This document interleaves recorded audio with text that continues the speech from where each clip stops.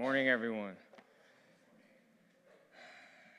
One of the benefits of um, being the pastor is when you tell the person who's the music director that you really like Mumford and Sons. Sometimes they, you know, sometimes they, they follow up, follow along. Thank you, Julia. Um, for those of you who know me, my name is Reverend Dr. Christopher Carter. I'm the lead pastor of the Loft, and my pronouns are he and him. I'm excited to have you here this morning and worship with us. We at the Loft are a progressive Christian community that strives to follow Jesus' spiritual path of radical compassion by being unapologetically inclusive, by being conversation oriented, and by teaching theologies that promote the flourishing of all life.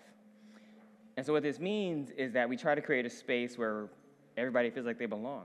And so, regardless of your race, gender, class, sexual orientation, regardless of where you are on the spectrum of belief, we want you to feel welcome in this place. We want you to grow to have a sense of belonging in this community. Um, we, we are continuing our, our new sermon series uh, titled Better Together. Um, this series is really about trying to figure out what it means for us to be and grow together as a community through the lens of recognizing and working through our particular loneliness, the ways in which so many of us um, struggle with loneliness to the extent that you see more and more articles, more and more essays, more and more things being written about the impact that loneliness has on not only our physical health, but also our emotional health as well. Now, loneliness is defined as a subjective feeling that you're lacking in the social connections that you need. And so, in this sense, loneliness can feel like being stranded or feel like being cut off from the people with whom you belong even if you are surrounded by other people, you may still struggle with loneliness if those relationships or those connections aren't deep and meaningful in a way that fits the need that you have.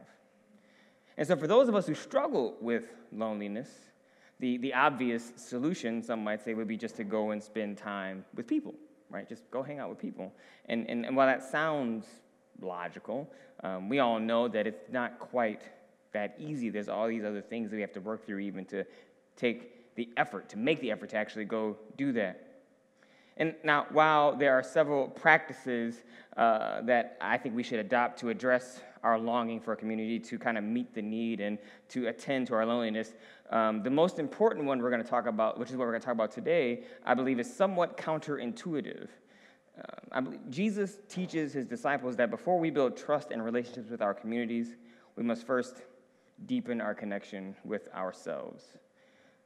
And once we do this, this kind of builds a foundation upon which we can establish and strengthen new and even existing relationships. And so, this is what we're going to talk about in worship today. But before we get into that, we want to spend a few minutes um, saying hello to one another, greeting one another, um, getting something to drink, some coffee. Uh, I actually had too strong of a cu- cup of coffee today, so I'm actually going to try to just keep down in the water and hope it kind of levels me out. Uh, but yeah, we call this time community care. So I invite you to, to say hello to one another, say hi to someone who you maybe haven't met before, and help us become more than Sunday friends. This morning's scripture comes from Luke 10, 38 through 42. While Jesus and his disciples were traveling, Jesus entered a village where a woman named Martha welcomed him as a guest. She had a sister named Mary who sat at the Lord's feet and listened to his message. By contrast, Martha was preoccupied with getting everything ready for their meal. So Martha came to him and said, Lord, don't you care that my sister has left me to prepare the table all by myself? Tell her to help me. The Lord answered, Martha, Martha, you are worried and distracted by many things. One thing is necessary. Mary has chosen the better part, it won't be taken away from her. There is in every person something that waits and listens for the sound of the genuine in themselves. There is in you something that waits and listens for the sound of the genuine in yourself. You see, nobody like you has ever been born, and no one like you will ever be born again. You are the only one. And if you miss the sound of the genuine in you, you will feel incomplete for the rest of your life because you will never be able to fully understand who you truly are. in the Gospel of Mark, there is this story about Jesus and his disciples, and they had just arrived in the country of the Gerasenes, and, and they encountered a man whom Scripture describes as being possessed by a multitude of demons, legion. The man was in pain and suffering, and the, the demons inside of him knew who Jesus was, and, and, and they were worried that Jesus would hurt them. And so Jesus asked this man one question. He says, Who are you? What is your name? And for a moment, the man whose mind had been confused seemed to, to, to right itself, and he said, That's it. I, I don't know who I am. There are legions of me. And I wonder if perhaps this was the man thinking that if he only knew who he truly was, he would be whole again. And so, the burden I have to say to you this morning is what is your name? Who are you? And can you find a way to hear the sound of the genuine in yourself? There are so many noises going on inside all of us, so many echoes of all sorts, so many internalized ideas and, and narratives that distract us. and, and it makes me, me wonder if we can get still enough. Not, not quiet, but, but indeed still enough to hear our true self, the sound of the genuine within. Now, I don't know if you can, but this is your life's assignment. This first section of what I read this morning is part of a baccalaureate address given by Howard Thurman at Spelman College in 1980. And I believe it goes to the heart of what we are going to talk about today. It gets at the heart of what these passages are discussing that we will explore. We see Mary and Martha, in a way, trying to listen to the sound of the genuine in themselves in different ways. And, and see Jesus pointing out which one, in fact, was listening to their true self. Martha had reason to be upset.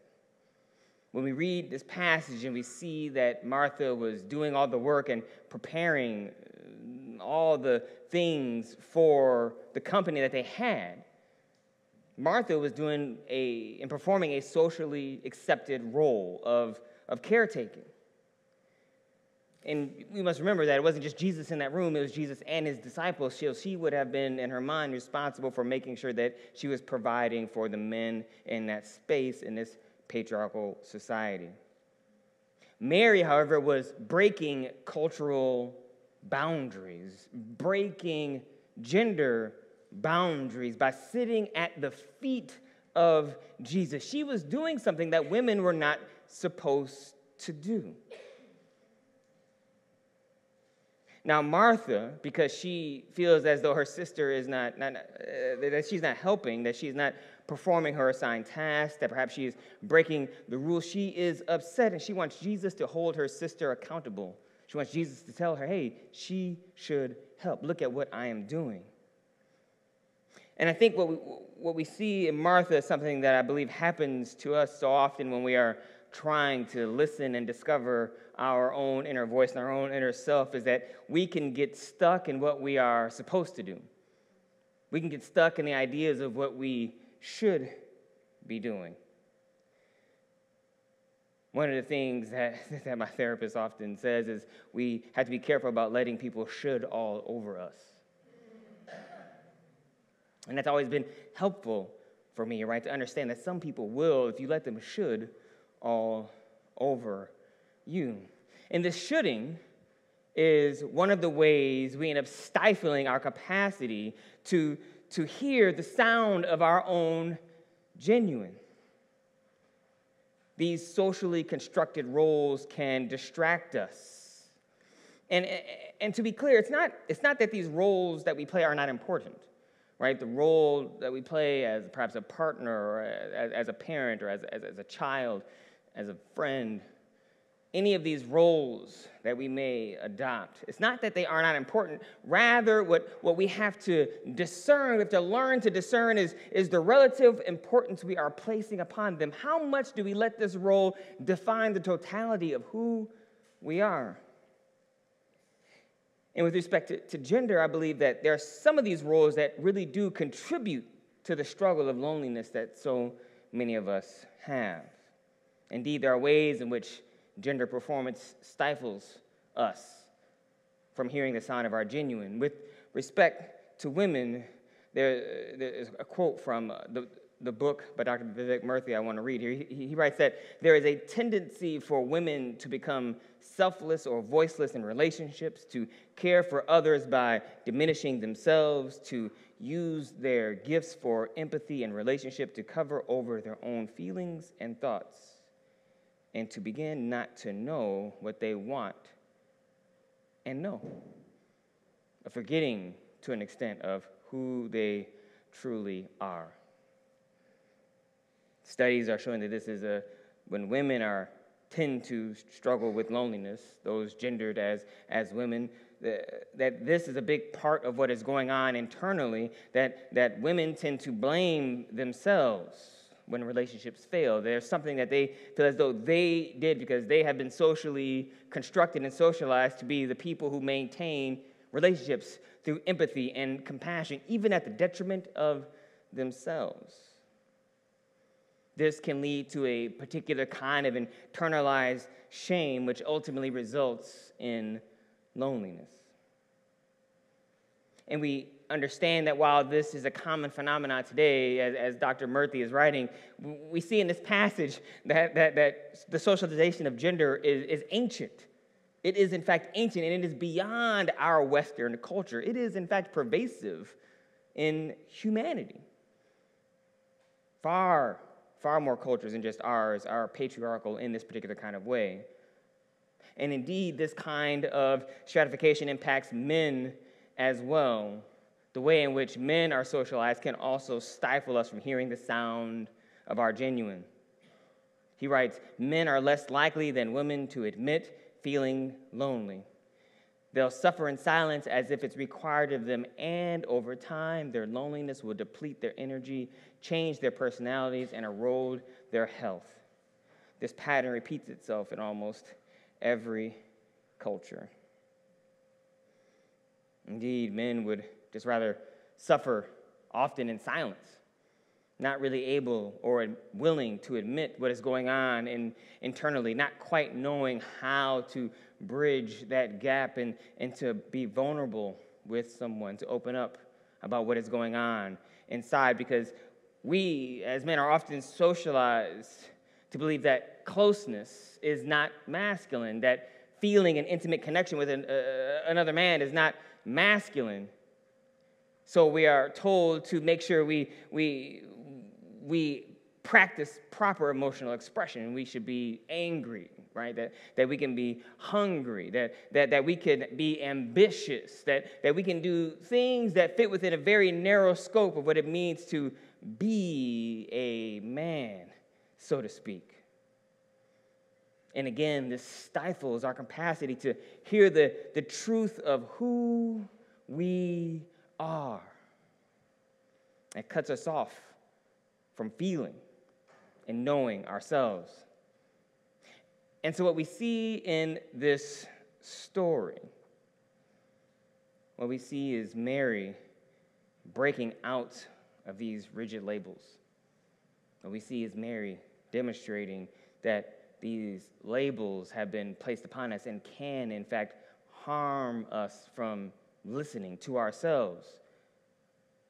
We see Mary fulfilling the second part of the greatest commandment. So, in the, in, in the scripture prior to this is the story of the Good Samaritan, where it's more about what we are to go and do to love God and neighbor and self. And what we see in that passage in the Good Samaritan is someone loving their neighbor. And what we see in Mary is, in fact, what it looks like to love God. And at times that requires us to be still, to be quiet, to sit, and to listen, and to focus on the most important thing in that moment, which is to be present to ourselves, to our family, to our friends, to discover who we are. And what we see Mary doing is actually focusing on the most important thing she could have been doing at that time listening to Jesus. And what we see in, in, in Martha, what we see Jesus teaching Martha, is that we must let go of the blame, shame, and judgment that has been forced upon us by these social norms. There was resentment that I'm sure she had towards Mary. There was frustration that why does she get to do this thing and I have to do all this service and social work? Why can't I be in that particular kind of place and learn like Jesus? And what Jesus tells her is in fact, you can. You can also break out of the boundaries you have placed upon yourself or that you have willingly accepted. You see, the interesting thing is, I think we all know that these social norms don't actually lead to our liberation. Many of these social norms don't actually help us feel as though we are living into our full humanity. Something sometimes feels wrong when, when, when, we try to convince ourselves we're not judging ourselves or judging someone else. There is this internal feeling that we know is off balance. And yet we still follow these norms. And, and so I'm often left wondering why? I believe one of the reasons is, is fear. We often be afraid of how others will look at us, what they might say, what they might think. And we know that this matters in our society. It matters in terms of relationships. It matters in terms of jobs. It, it matters in terms of any number of other things. And, it, and, and often that can be a controlling mechanism to make sure that we are compliant and make sure that we fall in line with everyone else, as we are afraid of what will happen if we do not. And yet, I often wonder if, if perhaps some of that fear, or perhaps another reason we follow these norms is because we are committed to them because, in our experience, they have kept us safe. Knowing how we're supposed to be in relationship to others, falling in line, co- complying and cooperating, and, and doing the things that the world expects of us in the way it expects us to do it allows us to just go through life. Even if we aren't able to connect with our deepest sense of self, at least we'll know we are safe. These social norms, I believe, they, they keep us alive. But what Jesus shows us is that they restrict our ability to live. They restrict our ability to know ourselves. And so, as Mary demonstrates, to begin to know ourselves can be a courageous and boundary breaking act. to really get to know ourselves and prioritize learning who we are. It requires stillness and it requires solitude to discern what we value and why we respond to the world and other people in the way that we do. And so, the first set of questions I would love for y'all to spend some time thinking about are, in fact, questions that should hopefully prompt us to do some of this inner work to begin to discover about our, a little bit about ourselves. Perhaps how these, perhaps you've thought of some of these questions before, and maybe your answers right now may shift, may change, maybe they have evolved. So it's an opportunity for us to begin to practice a little quiet. I don't know if we can get still in this place. We can definitely get quiet and discern perhaps a bit more who we are. What do you most love doing and why? What do you dread? How do you respond to stress? What are you most grateful for? And what do you yearn for? These are just basic introductory questions, but I believe they can serve as a guidepost, if you will, to point the way to ourselves. So spend a few minutes in conversation, and then we will come back with announcements and worship.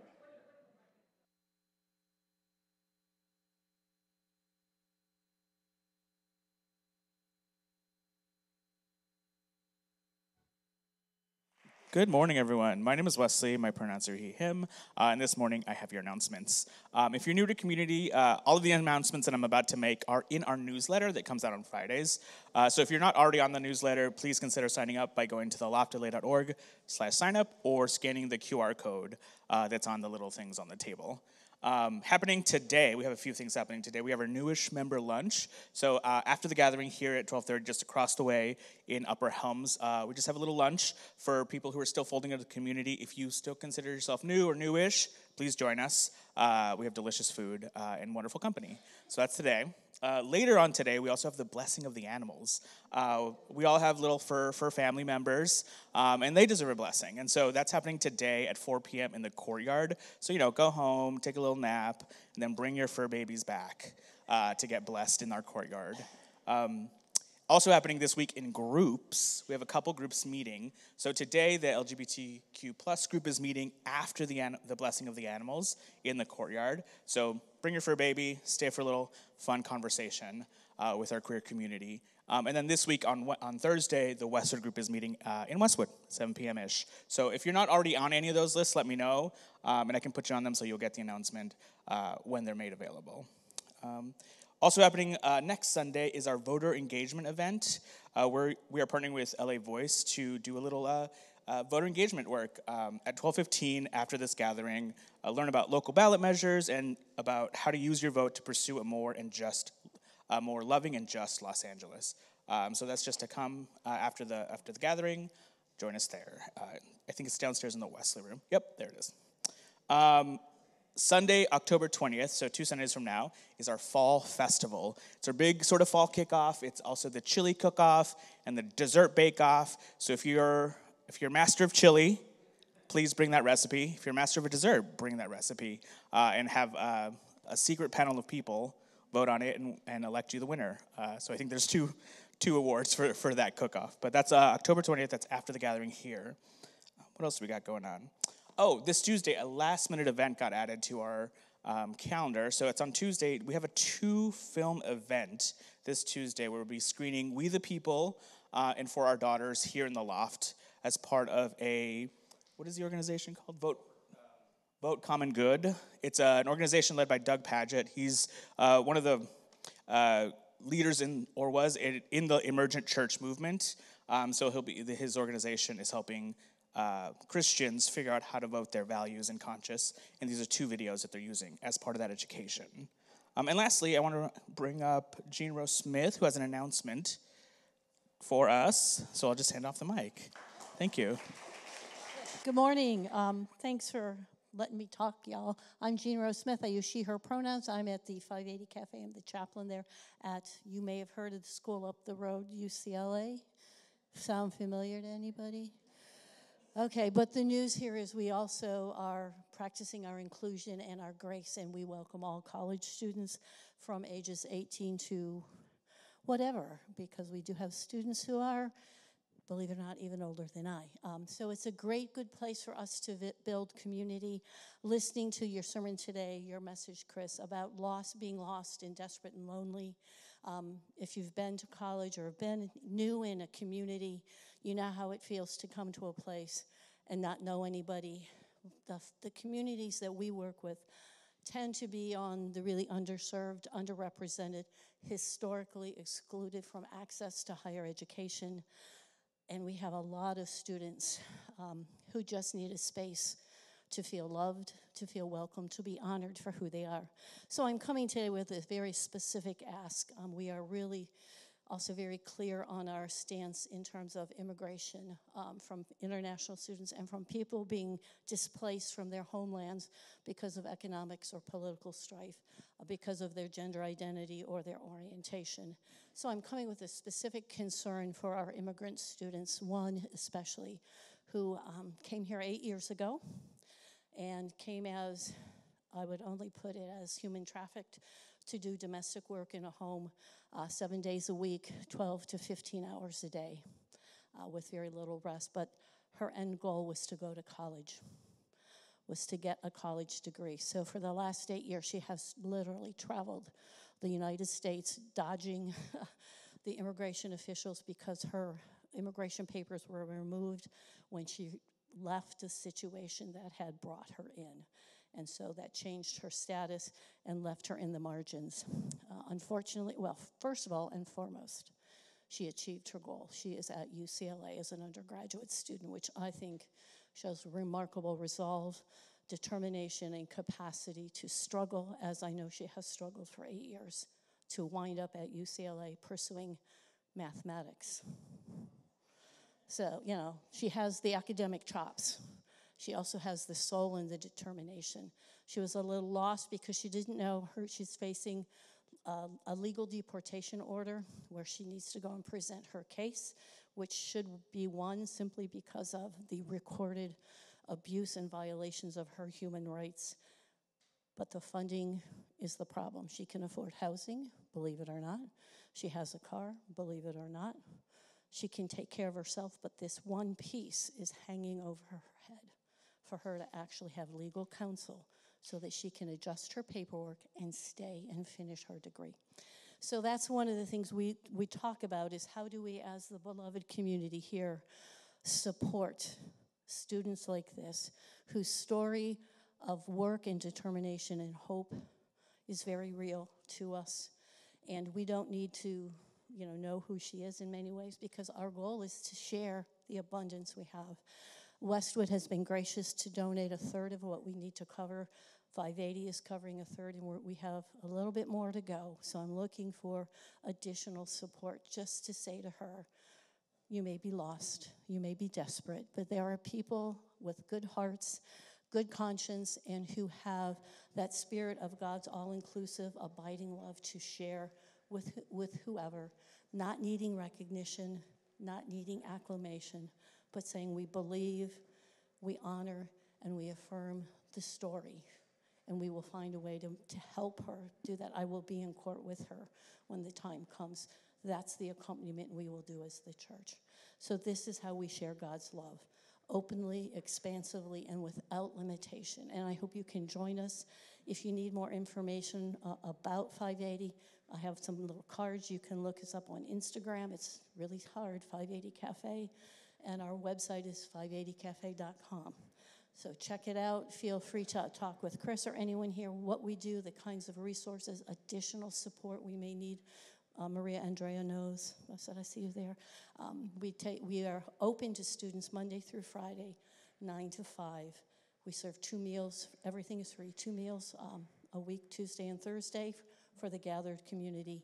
And one last thing this is going to be one heck of a quarter because, given the current geopolitical environment, many of our students are actually being very oppressed and limited in their free speech, in their gathering, in their speaking out for justice on behalf of their people and their communities. So I covet your prayers for our community at UCLA as we seek to find God's wisdom and justice as we move through these very difficult days. So thank you, and um, see me if you need, need any questions or any comments you want to make. Thanks. Thank you, Virginia. Thank you for that. Uh, the, the reading today is Luke 15, 25 through 32. Now his older son was in the field. Coming in from the field, he approached the house and heard music and dancing. He called one of his servants and asked what was going on. The servant replied, your brother has arrived, and your father has slaughtered the fattened calf because he received his son back safe and sound. Then the older son was furious and didn't want to enter in, but his father came out and begged him. He answered his father, Look, I've served you all, served you all these years, and I've never disobeyed your instruction. Yet you've never given me as much as a young goat so I could celebrate with my friends.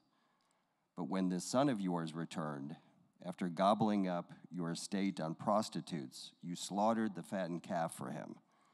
Then his father said, Son, you are always with me, and everything I have is yours. But we had to celebrate and be glad because this brother of yours was dead and is alive. He was lost and is found. I should say, um, in terms of the announcement uh, Gene Rose Smith made, is that um, if you want to make a donation specifically to um, 580 or specifically to the student at 580, we, I would invite you to give to our Good Samaritan account. Um, so you can get online at the loftla.org backslash give, ways to give, I think. I don't know if we can put that, so there we go. Uh, give, yeah, there we go. Um, and just put in the, um, you know, the comment that that's what it's for. Um, and that would be, we would really appreciate that support. Our Good Samaritan account is something that we really, again, we just, that's what we use to help to serve the community. Um, it's one of the ways I'm actually really proud of what we're able to do in this church. Um, and yet, if you also find in your heart to give to us and support to the work that we're doing, we always want to encourage that as well because it allows us to do some of the amazing, amazing things I think we're able uh, to do in this place. Now, what um, what I have been describing in the previous, like first part of the, sermon as getting to know yourself or self knowledge, um, is often expressed by the term, um, particularly in like middle and upper class communities, as um, finding yourself. Usually people describe it as like, I gotta go find myself. Um, and and I'll be honest, when, when I was younger, um, I would, you know, and I would hear that term, uh, I just was like, this is dumb.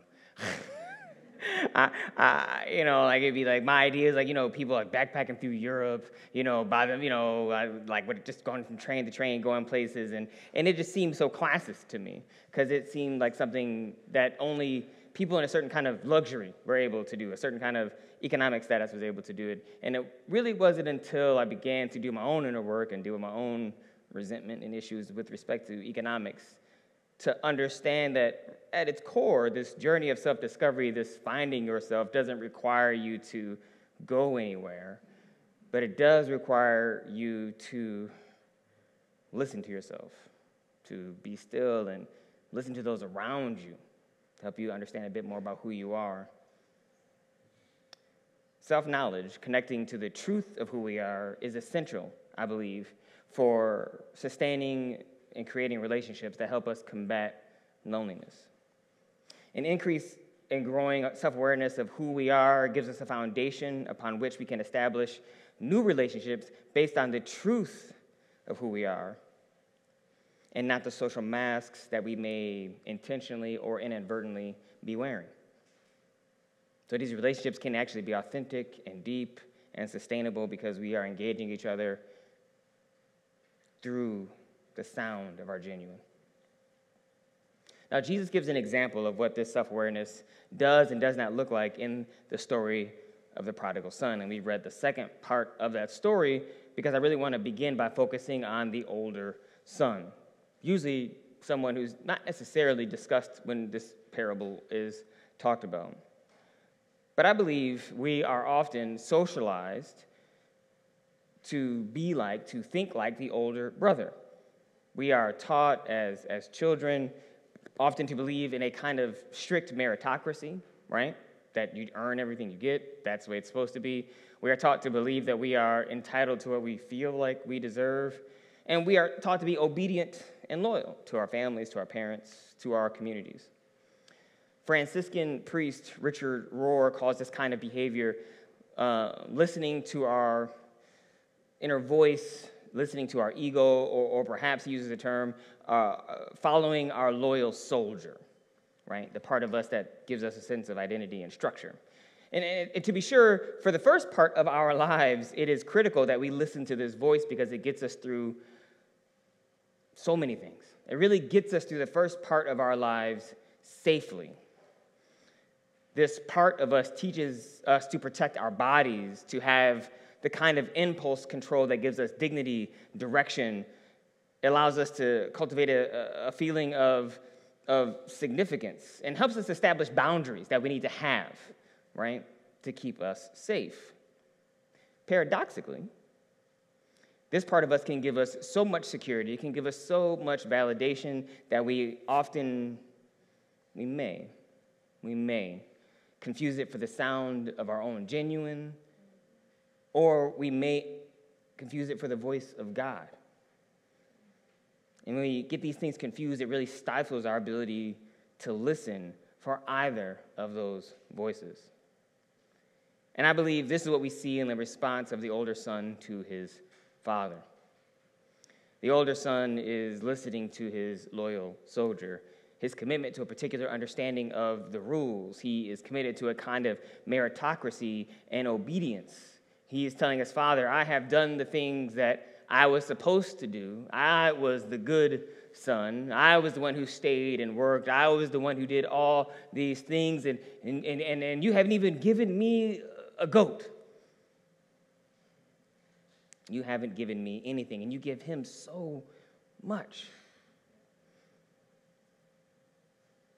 The brother's commitment to the rules, though, his commitment to follow this loyal soldier, ultimately ends up robbing him of some aspect of joy, some aspect of growth, or a way in which he might actually confront and disentangle that loyal soldier from the sound of his genuine because his father invites him to the celebration, but, but he's so frustrated, he's so resentful, we don't ever know if he actually attended. And his father begs him, and he just, we just don't end up knowing what happened. And I believe this sometimes can be the way in which we rob ourselves from opportunities to grow, opportunities to develop, opportunities to mature and listen to who we are. we can just go, get so stuck on the idea that we are right rather than doing the work to discover what it looks like to, to be right. You see, I believe there's a deeper voice of God that we must learn to hear if we are to get to know who we truly are, if we are to learn how to listen to the sound of our genuine. And, and this is what we see in the younger son. We see someone who appears to have learned how to distinguish between his inner voice, his ego, if you will, and the prompting of the divine. In, in, in verse 17, further along, uh, we didn't read it, the writer says that the younger son came to his senses. He's working with pigs, even though he's a person of Jewish descent. So this would have been an abomination, something that no one would have wanted to do. And perhaps it was because he had suffered so much. He had went through so much destabilization. It shook him awake, and he came to his senses by himself with the pigs. And I believe it points to the importance of solitude and learning how to listen to the sound of our genuine. I, I wonder if that would have happened had he not had this particular kind of suffering, if he had not had this particular kind of tragic event, or if he had even not had the opportunity to think about this by himself, would he had gotten to this conclusion? You see, solitude gives us time to listen to ourselves, time for self reflection, time that we often neglect because sometimes the things that come up when we do that, those thoughts, those feelings, they're painful. They require us to do some healing. And it is much easier to stay busy, as we discussed last week, rather than tend to our own inner wounds. And yet, within the story of the younger brother, we see that this is, in fact, what he does. I believe we see three practices that, that can help us tend to this internal pain that comes along with self reflection and deepening our knowledge of ourselves. And the first act we see in this story is a kind of self compassion, a way in which he's compassionate towards himself. He, in his time with the pigs, he, he says to himself that I'm better off, I would be better off as one of my father's servants than I am right now. The people who he hired they are living better than me. I should go home. I believe compassion helps us form a bridge between self knowledge and self acceptance. And in this moment, as he's discovering who he is, he has to accept the mistakes that he made and the consequences for his actions. He also cultivates a kind of loving kindness towards himself. And I believe that loving kindness, that way he's able to look at himself and say, I know I made a mistake, but I'm willing to go home. This is the first step on a path that I believe leads us, helps us cross that bridge.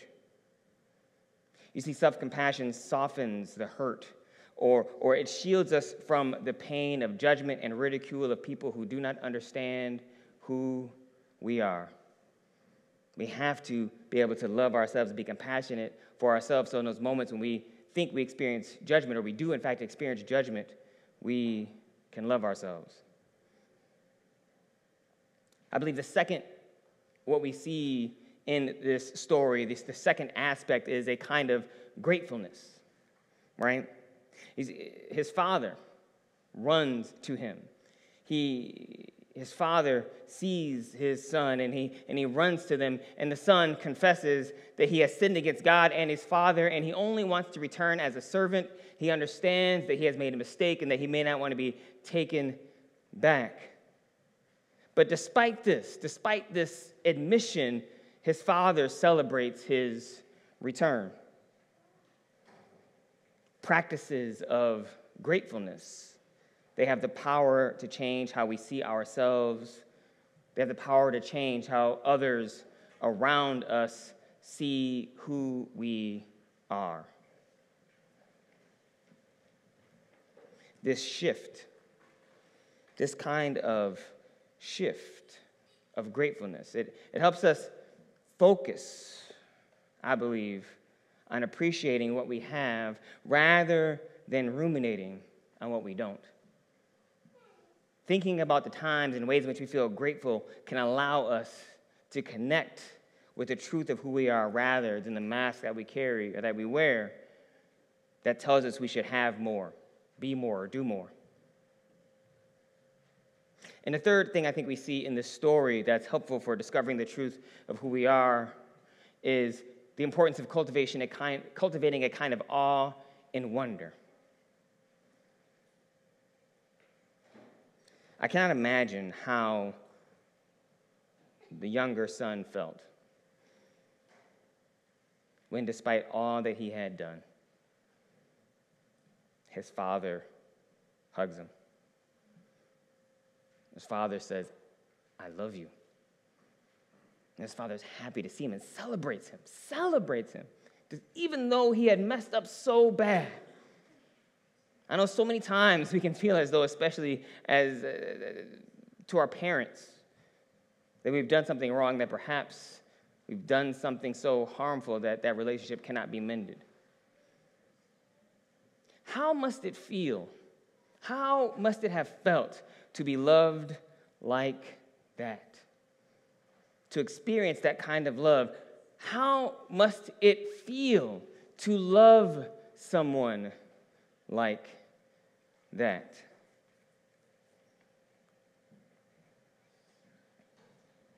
And so the question I want to ask y'all before we wrap up is what makes you feel awestruck? What helps you feel connected to the deepest sense of love that we know exists? What makes you have a sense of awe? Is it perhaps nature? I know for me, going to Yosemite, going to Yellowstone, going to some of these parks, going to the beach allows me to, to see something bigger than myself, and it does give me a sense of awe. Perhaps it is art of some kind Perhaps it is paintings, perhaps it is theater, perhaps it is tele- television. It could be any number of kinds of art that strikes you with awe. Maybe it's playing with your children or, or grandchildren and seeing them in this particular kind of moment and stepping back and just being taken in by the joy that you see.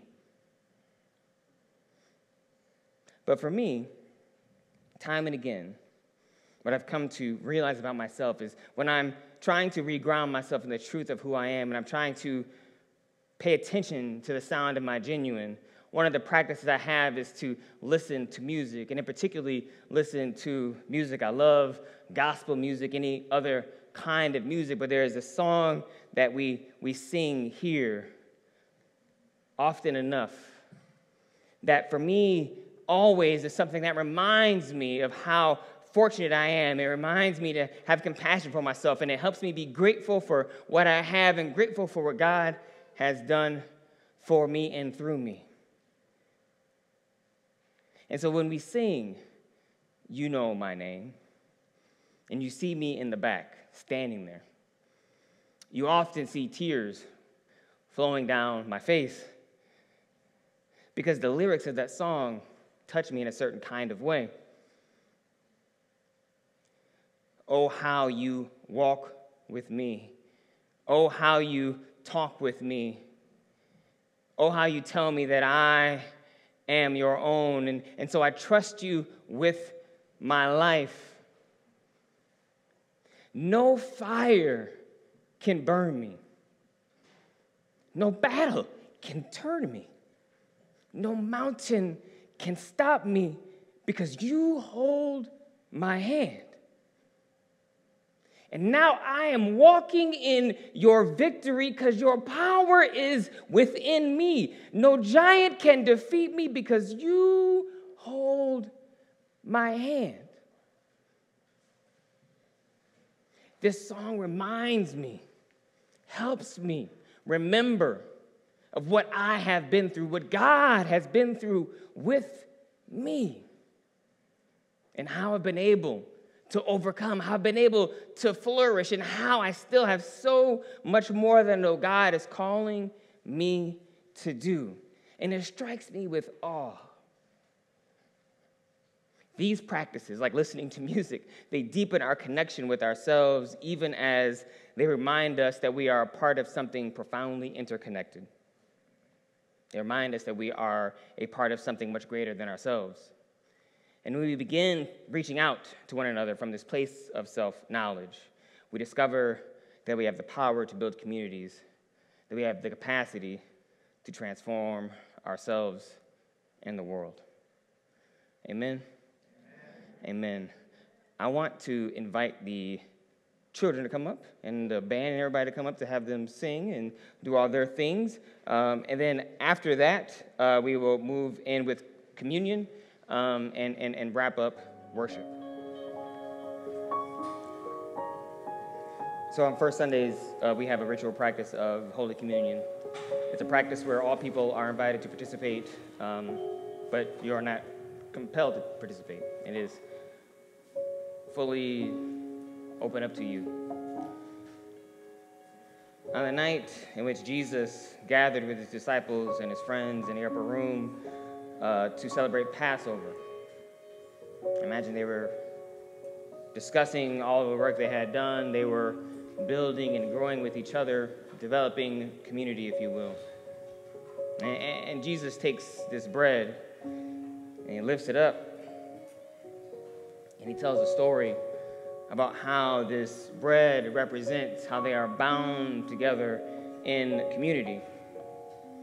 Indeed, this meal was used to tell the story of the liberation of his people, the way in which God had delivered them from Egypt, delivered them from bondage. And in telling this story, they are able to place themselves in the broad narrative of their community.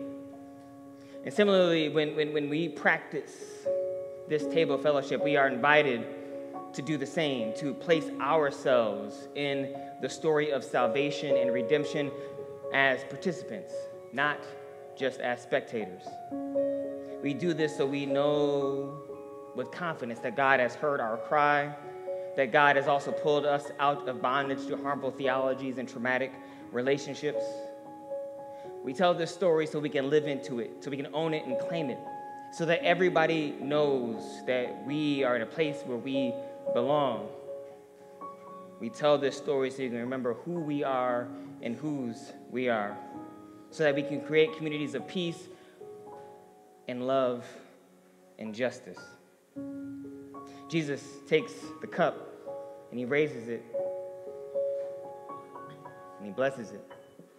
And this cup represents a cup of salvation, a, a new covenant which all people, Jew or Gentile, slave or free, could join in and participate. This kind of boundary breaking ideology, this idea that all are welcome, this is a radical concept. We saw this in the stories we discussed today this elimination of hierarchies, this elimination of, of, of places that might allow us to feel less than the full human, human that we are. You see, in the very act of nourishing our bodies with the bread of life and in quenching our thirst for love with the cup of salvation, we are in fact made new in Christ.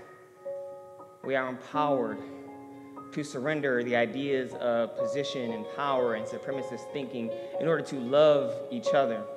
We are called to embody the solidaristic love that we see in Jesus, knowing that for us that means we must live in the full expression of who we are, and that if someone is denied the capacity to express their full humanity, then we are not transformed in Christ. We are not faithfully engaging in table fellowship if someone has to wear a mask to feel like they belong. The cup of salvation represents our delivery from the bondage of individualism and selfishness because salvation is a communal event. And in taking this cup, we are reminded that our liberation is interconnected, that none of us are free until all of us are free. And so, what I want to do is invite you to participate in this sacrament. We have right here, um, for those of you who are, are gluten free, I'll, I'll, move this stand. We have um, some tasty, tasty wafers uh, that you can uh, take and dip into this cup that will be standing right here. We'll have two communion stations on either side. Um, we also invite you to use this time as a time of prayer. So if you feel so moved to light a candle or perhaps write a, a, a note to jot something down as a, as a way of, of, praying to God, you're able to do that. If you feel as though you want to kneel at the altar that's underneath the Pride Progress flag, you're invited to do that as well during this time of worship. If the communion stewards would come forward, I invite you to join us as you are able. Will you all please bow your heads with me? And let's have a moment of prayer together. God who holds us steady. All too often, we wear masks that allow us to drift in and out of our counterfeit selves, depending on who we are in proximity to. There are days when we feel so disconnected from ourselves that we wonder if anything is real at all. Turn us towards the part of us that are true. Give us the courage to disentangle ourselves from our masks. Keep us from demonizing our false selves. Help us to hold those masks in compassionate care because we know that every mask is the result of an unhealed wound.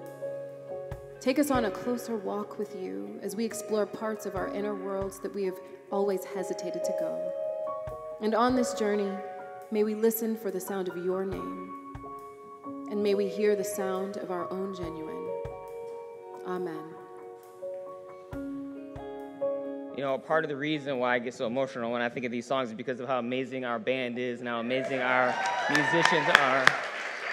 They're so talented. We can go from playing with, you know, with little kids, a little jaunty tune, I think is what you might call that, to singing music like this. Is just, we're really fortunate to uh, be blessed with the kind of worship music that we can have in this space. Um, again, I want to uh, make an announcement that Queer group is actually meeting right after service. So I think maybe like, is Everest up here? Uh, like maybe quarter after. So probably got about like maybe 15 minutes or so, and then people meet in the courtyard. Um, the newish, new, basically, it's not members. If you've been here for a little bit, but you want to get to know me a little bit better, Julie and Wesley, um, or if you're new, it could be your first time. We're gonna have food in there. You're more than welcome to come and join us to sit down for a meal and just to kind of catch up and hang out. I would love to get to know you all a little bit better. Um, and, and yeah. So those are the announcements, and I invite you now to receive the benediction.